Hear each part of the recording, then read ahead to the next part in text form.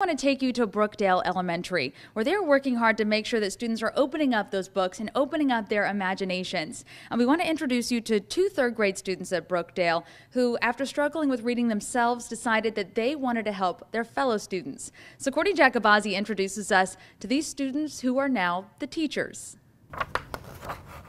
The stories of Ariana Davis and Micaiah Barnes did not always include a love for literacy.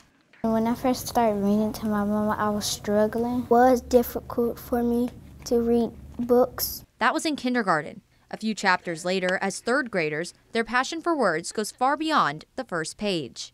I love books uh, a lot. I think they are very helpful to learn. Tutor Kat Henning stepped in to help when teachers first identified their slow start to embracing books. She encouraged the girls to keep trying and to keep reading. Now, Fantastic job. Adiana, you did a fantastic job. So proud. the girls put their skills to work, teaching a new round of kindergartners to read. Down, down, down. Then up, up, up. It's a fairy tale ending Adiana's mom never saw coming. Now that she's progressed into reading, you know, that's a thumbs up for me. The bear drives drives to a boat. Very good to start reading now. That way, in the future, reading will not be a hard task to do. The train chugs away.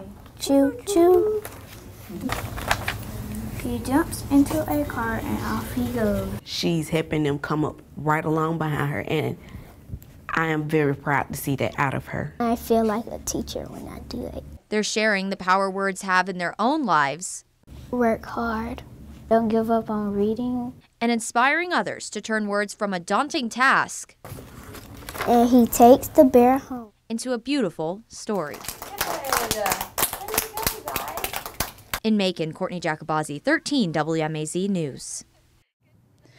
Isn't that such a great story? Now, the Read to Succeed program is in its third year at Brookdale, and Adiana and Micaiah read to the kindergartners at least once a week. And today they'll have a little bit of help. There are about 500 volunteers from all throughout Central Georgia who will be reading to kids today as part of Read for the Record. But